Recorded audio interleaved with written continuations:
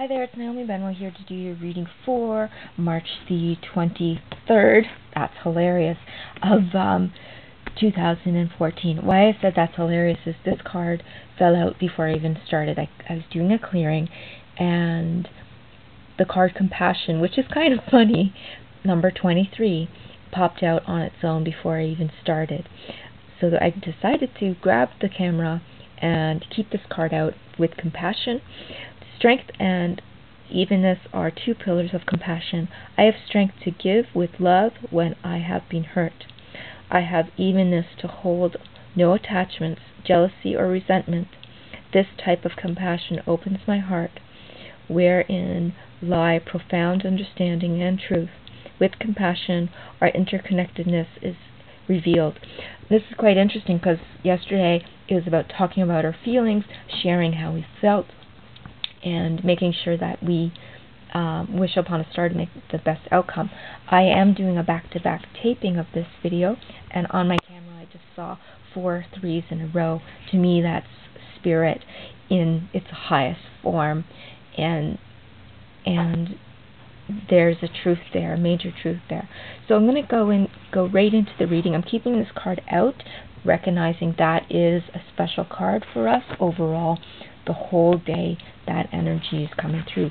But we're going to work with the, the rest of the intuitive cards and I'm going to see which card comes up. I'm going to pick still three.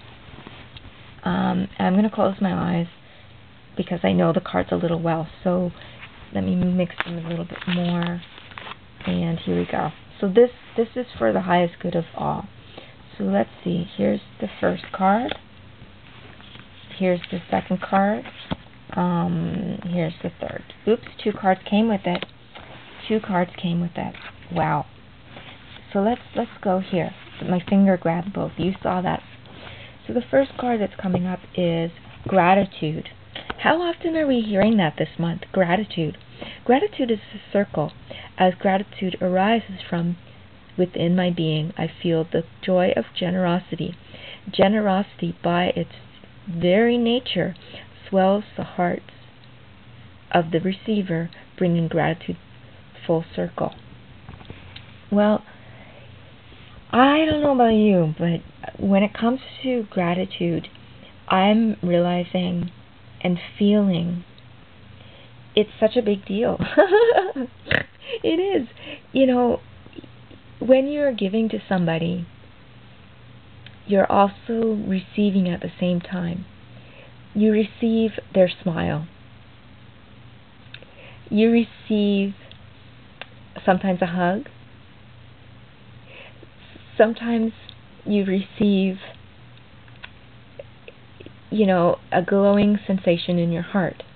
And when you when you are receiving on the opposite the opposite side of of the giving, you know, look at the person's face when they give you something and know in their heart, in your heart, that you're connected because there's a beauty there. You know, and and it's absolutely fabulous. So here's the next card. It's um eight, which is the eighth chakra. All that my soul has ever been and will become rests gently in this moment my soulful power is here now. Well, this ties ma- majorly into into this because the only way you recognize the gift is when it occurs, and within the occurrence, that's the that's the juicy beauty. And I'm gonna go on to the next card. I'm gonna flip them together they were upside down. The first card was, um, first card is first chakra, number one.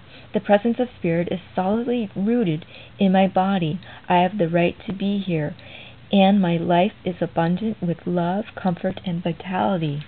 And the card that goes with it is joy, number 15. Joy.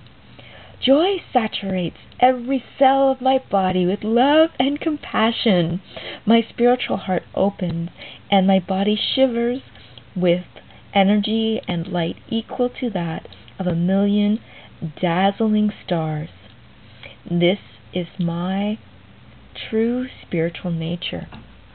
Can you imagine? See, what I love about this combo, these two cards together, is it talked about the dazzling stars and being grounded at the same time.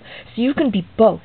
You can be both grounded and in the stars of heaven and in the stars of love. And when it, it brings back into the compassion here, this actually has been quite a long reading today, but um, it's the 23rd of the day of the month, and there's about here is the compassion tying back into you know the gratitude and releasing being in the moment in the here and now. There might have been something that happened in the past but you can let it go. It sounds so easy but stay in the moment. Realize that even if you were hurt before by the same person that you're experiencing something with at this moment with the moment you are in, I just repeated myself, you have a sense of peace and joy in order to to expand your life, to have that interconnectedness, and it will be revealed.